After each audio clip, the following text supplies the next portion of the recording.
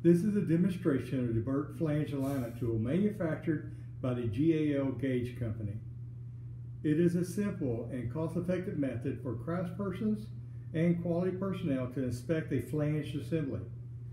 The tool has a 150 slash 300 pound nib, a 400 pound and over nib to check the gasket crush and flange parallelism. It also has a 1 16th inch scale to check maximum centerline high-low.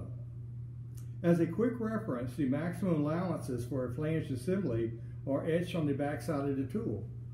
The tool can be used on all raised face flanges using spiral wound gaskets. Our first example is a 2 inch 600 pound flange assembly. Inspect for the correct gasket. Inspect for the correct size, length, and grade of bolts and nuts. Using the centerline high-low measurement, you'll note that it is less than 1 16th of an inch.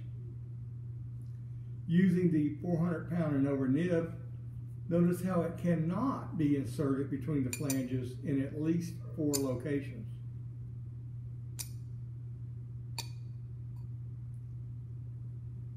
This would indicate that this is an acceptable flanged assembly.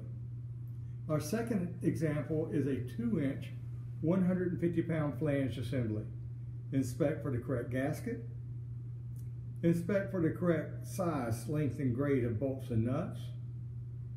Using the centerline high-low measurement, you'll note that it is greater than 1 16th of an inch, which is unacceptable.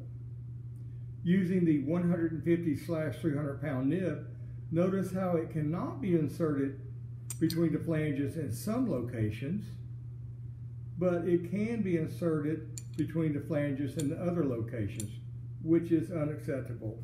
These indications will show that this is a failed flange assembly.